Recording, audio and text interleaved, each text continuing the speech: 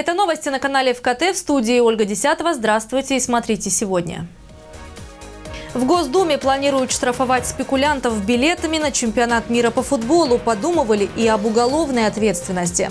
В Сочи стало меньше так называемых проблемных домов. Борьбу с появлением обманутых дольщиков подытожили на планерке главы курорта. Теперь будет выше и прочнее. Проект уличного освещения в парке на Макаренко пришлось пересмотреть из-за вандалов. Финал Кубка РФС среди юношеских команд стартовал в Сочи. Шанс попасть в сборную страны есть и у местных футболистов.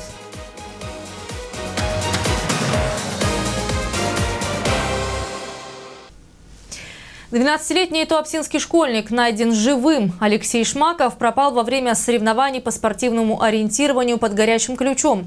Мальчик был обнаружен в 25 километрах от места, где его в последний раз видели, 22 октября. По предварительным данным, он заблудился в лесу. После получения соответствующего разрешения медиков с мальчиком побеседуют следователи. Пока же всех, кто принимал участие в поисках туапсинского школьника, поблагодарил губернатор Краснодарского края. Вениамин Кондратьев отметил, что равнодушных в сложившейся ситуации не оказалось. Слова признательности глава региона выразил обычным людям, которые подключились к поиску на своих автомобилях, а также военным.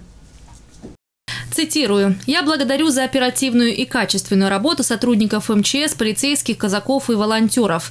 Более того, ситуация показала, что у нас много неравнодушных людей. К поискам подключились местные жители, охотники, опытные туристы». Конец цитаты.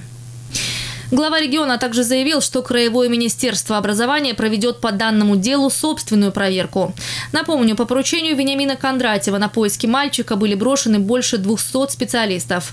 Лес прочесывали сотрудники МЧС, полицейские, казаки, военные и волонтеры. В спасательной операции задействовали даже беспилотный летательный аппарат. Также в горячем ключе все это время работал оперативный штаб, который возглавил первый вице-губернатор Андрей Алексеенко. Как будет развиваться экономика Кубани до 2030 года, сегодня обсуждали на форуме «Стратегическое планирование в регионах и городах России». Деловая площадка открыта в Санкт-Петербурге. О перспективах социально-экономического развития Краснодарского края на двухсторонней встрече говорили губернатор Вениамин Кондратьев и председатель Совета Центра стратегических разработок Алексей Кудрин. У Краснодарского края есть э, хороший потенциал есть э, действительно те точки, которые нужно э, создать, сделать точками роста, нарастить возможности. Э, вообще мы в сравнении с другими регионами видим Краснодар, Краснодарский край как вообще одну, там, я бы сказал, в десятку входит регионов, который, который может иметь опережающий даже по сравнению со средними темпами роста развития. И вот этот потенциал нам нужно поднять. Надо разобраться, проанализировать. Собственно, значительная часть этой работы уже проведена. Мы думаем, сегодня мы как раз обсудим эти подходы. Мы сегодня привыкли к тем флагманам экономики, которые уже есть. Агропромышленный комплекс, курорты, транспортная составляющая, безусловно. Но я бы хотел акцентировать внимание на промышленности. Сегодня промышленность тоже может быть э, в Красноярском крае очень активная. И мы сегодня, конечно, думаем над увеличением объемов э, промышленной продукции. И она э, должна быть, эти объемы, как минимум два раза увеличены. Только потому, если мы говорим, что сегодня мы должны максимально разогнаться. И вот это наше видение. В концепции тоже отражен промышленный стартап такой. И это очень важно, потому что э, сегодня нужно не только смотреть на Кубань как на житницу страны, безусловно, она такой и останется. Но есть достаточно тех отраслей экономики, которые у нас где-то в тени. Вот э, я думаю, что настало время их выводить из тени. Настало время их делать пусть э, не выше, но где-то наравне с агропромышленным комплексом, современным агропромышленным комплексом. По мнению главы региона, диверсификация экономики сейчас одна из важнейших задач. Кстати, Алексей Кудрин лично принимает участие в разработке стратегии развития Краснодарского края. В Госдуме рассказали о планах штрафовать спекулянтов билетами на чемпионат мира по футболу. Об этом сообщает РБК. Тема о введении штрафов для спекулянтов обсуждалась еще в период проведения в России Кубка Конфедерации. Инициировать законопроект планирует правительство. Через парламент он может пройти во время осенней сессии, и уже до Нового года законопроект может быть принят.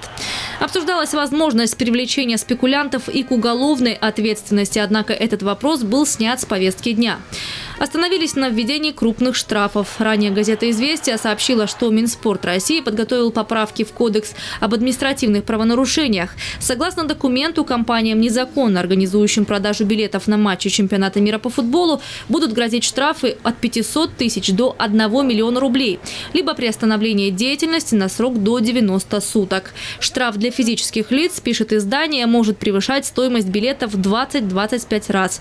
При этом минимальный размер штрафа составит 50 тысяч рублей. Отмечается, что документ уже согласован с Минфином, МВД и другими ведомствами. Поправки должна рассмотреть правительственная комиссия по законопроектной деятельности. Согласно документу, заниматься продажей, перепродажей и обменом билетов можно только при наличии договора с ФИФА. В Сочи стало меньше так называемых проблемных домов. Из 28 10 объектов долевого строительства введены в эксплуатацию.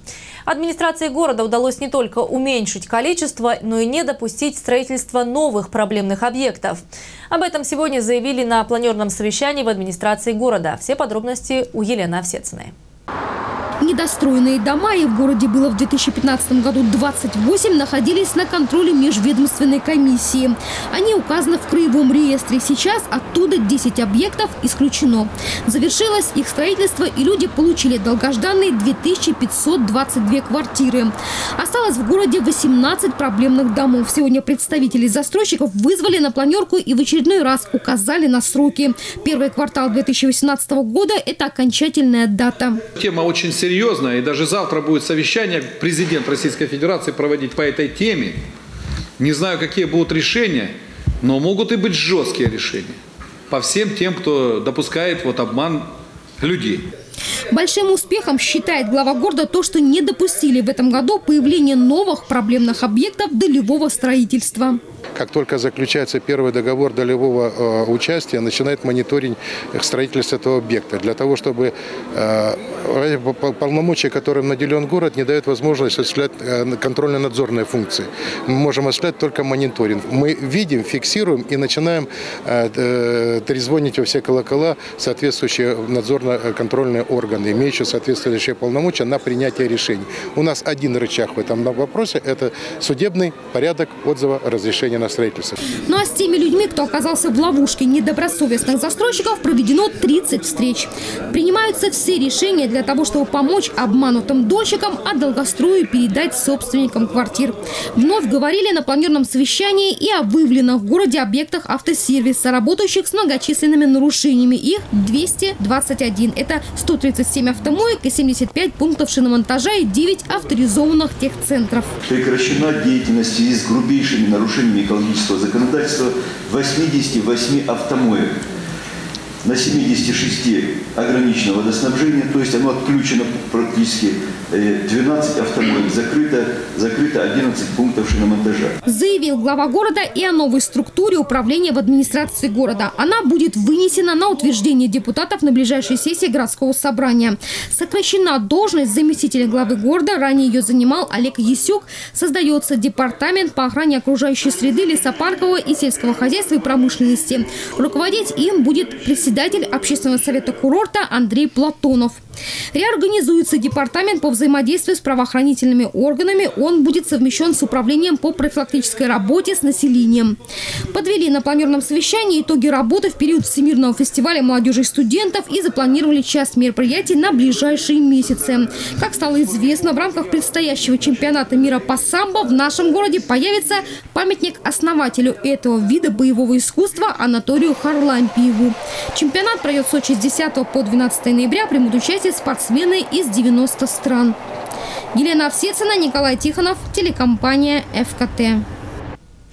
В ночь со вторника на среду на улице Пятигорская запланирован ремонт водовода. В связи с этим изменится схема движения автотранспорта. Аварийно-ремонтные работы пройдут в районе дома 40И на Пятигорской с 22 часов вторника до 6 утра среды. На это время будет полностью перекрыто движение автотранспорта по улице Пятигорская.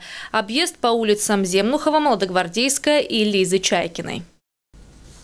Парк, открытый на Макаренко в честь 80-летия Краснодарского края, станет светлее. Сегодня там ведутся активные работы по монтажу уличного освещения. В планах установить около полусотни опор. На каком этапе сейчас работы и почему Сочинский парк начали сравнивать с московским зарядием, расскажет Татьяна Говоркова. Теперь парк на Макаренко – любимое место отдыха для Ирины Гришан и ее сына Артемия. Сюда гулять и дышать свежим воздухом, говорит Соченко, они с удовольствием приходят каждый день. Здесь до этого негде было э, не погулять с ребенком, приходилось выходить куда-то в центр и ездить на общественном транспорте, либо на своем. Но благодаря этому парку сейчас мы каждый день, по несколько раз в день ходим сюда гулять, дышим свежим воздухом. Мамы с детьми приходят не только погулять, но и поиграть на детской площадке. Тут же рядом любители спорта. В их распоряжении тренажеры под открытым небом. Не хуже, чем в фитнес-центре. Мы любим спорт, рады, что что-то делают на нашем районе.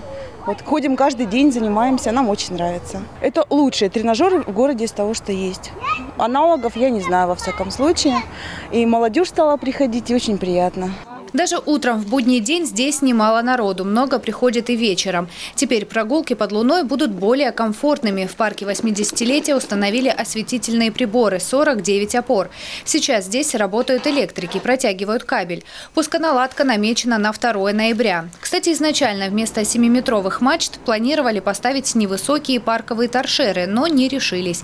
Парк на Макаренко сегодня с печалью уже начали сравнивать с московским зарядьем. Все дело в том, что здесь со дня открытия орудуют вандалы. Два светильника солнечными батареями сломали в первые же дни. Их уже демонтировали. Возле дорожек в траве и кустах мусор и бутылки. Между тем урны на каждом шагу. Кое-где следы от пикников и мангалов. А вот, например, во что превратилась лавочка весом в 200 килограммов. Ее перевернули и сломали. Видно, что делали это намеренно проведено совещание, будет э, здесь э, э, патруль, значит, казачий, будет патруль ДНД и будет с участием сотрудников полиции. Значит, нарушители общественного порядка будут немедленно задерживаться. По фактам вандализма администрации уже написаны заявления в полицию. Тех, кто так обошелся с подарком для целого района, уже ищут. И, вероятнее всего, сделали это не жители Мацесты, Адлера или отдыхающие туристы, сами же жители Макаренко. Кстати, теперь нарушителей будет вычислить гораздо легче. Закуплены камеры видеонаблюдения, то есть в ближайшее время они будут установлены, чтобы для избежания, соответственно, действий вандалов, как бы, и чтобы обезопасить граждан города Сочи, отдыхающих, нахождения в парке. Все, что вандалы успели испортить и сломать, стараются ремонтировать и менять в самые короткие сроки. Ну а вот сколько времени потребуется на то, чтобы изменить отношение людей к природе, общему имуществу и месту, где они живут, вопрос риторический. Татьяна Говоркова, Ольга Десятова, Михаил Дубинин, телекомпания «ФКТ».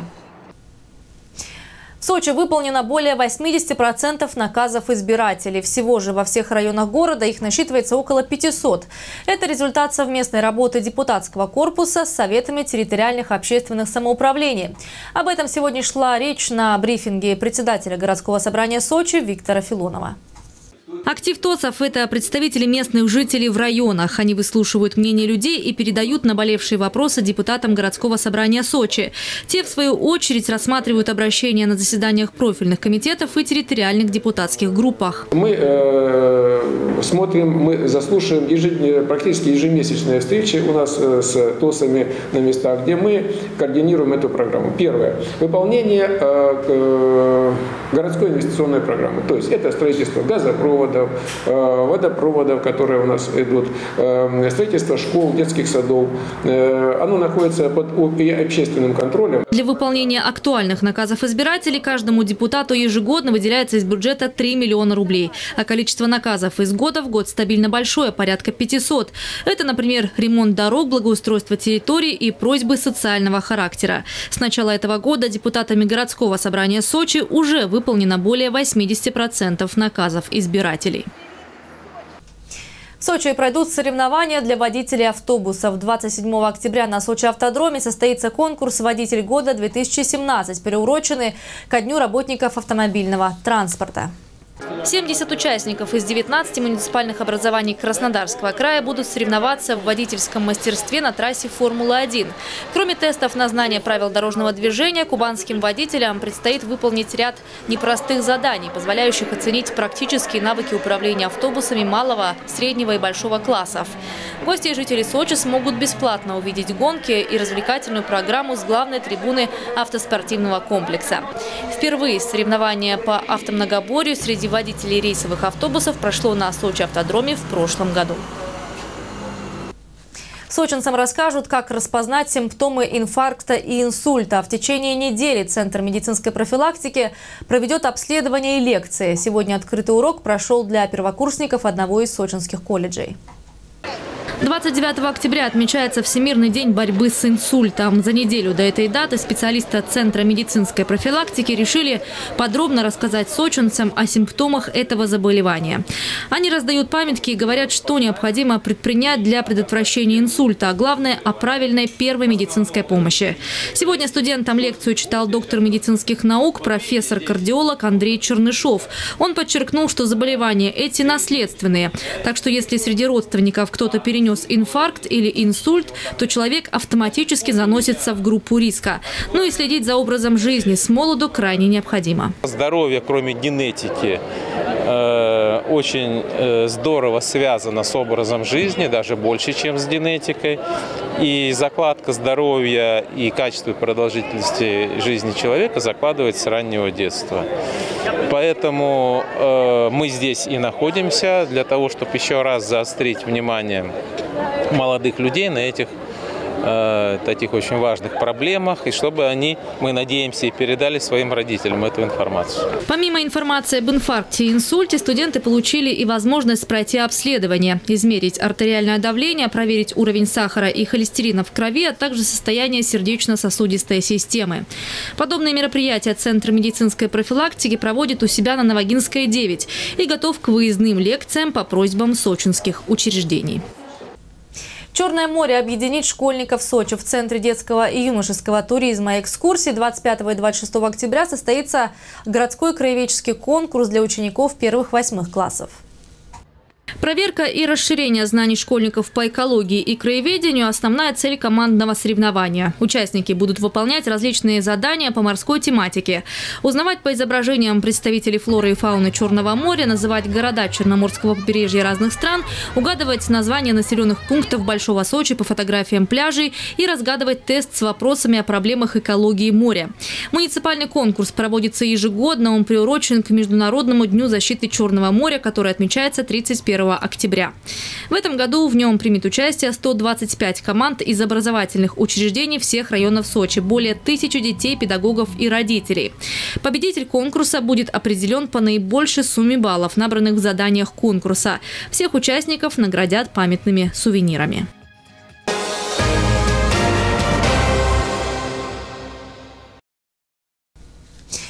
Финальные соревнования Кубка РФС среди юношеских команд стартовали в Сочи. Участие в турнире принимают воспитанники 16 клубов из разных регионов страны, в том числе и сочинская команда спортивной школы номер 10. Футболисты на курорте борются не только за Кубок Российского футбольного союза, но и за шанс попасть в юношескую сборную страны. Участвуют в турнире РФС юношеские команды профессиональных футбольных клубов. Ребятам по 14 лет. И для многих это первые соревнования под эгидой Российского футбольного союза. Команды разделены на 4 группы. Пока они играют по кругу, матчи на вылет начнутся на днях. Фавориты должны определиться 2 ноября. Здесь, на Мацестинских полях, подчеркивают организаторы, юные футболисты со всей страны делают первый шаг в профессиональный футбол. Трамплином в премьер-лигу турнир может стать и для сочинских сочинских спортсменов. В финал Кубка РФС попали воспитанники городской спортшколы номер 10. Среди соперников местных ребят и краснодарцы, которые, кстати, считаются потенциальными чемпионами этих соревнований. У нас еще есть клубы премьер-лиги, там тоже есть свои школы, но они играют вот отдельно. И тенденции, они вот берут сильных игроков из школ более низких. Поэтому для некоторых ребят это такое подспорье оказаться в школе более качественный, более профессиональный и потом, конечно, заскочить в премьер-лигу. В этом году начинает формироваться сборная команда юношеской России среди этого возраста. Вот сюда должен тренер приехать чуть попозже. То есть тоже перспектива попасть в сборную России. А это на 4 года, на 5 лет. Кто завоюет Кубок РФС, а для кого откроются перспективы в виде членства в юношеской сборной России, станет известно уже 2 ноября. Ну и в завершении информация от партнеров программы. Стоматологическая клиника «Вале Денталь» проводит акцию от производителя System. Исправление прикуса у детей и взрослых. Школьникам скидка от 30%. Чайковского 3, телефон 254 57 07. Ну а все новости уже на нашем сайте fkt.com. На этом я с вами прощаюсь. В студии была Ольга Десятова. Всего доброго и до встречи в эфире.